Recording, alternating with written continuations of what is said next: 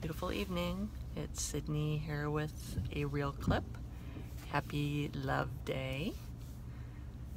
One doesn't have to be a mentor, coach, teacher, doctor, practitioner, etc., to make a difference in the life of another.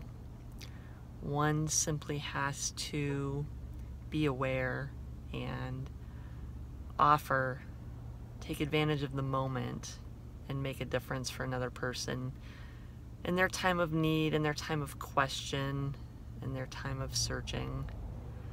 You can find these people in your work, in your play, in your shopping. You can find them everywhere.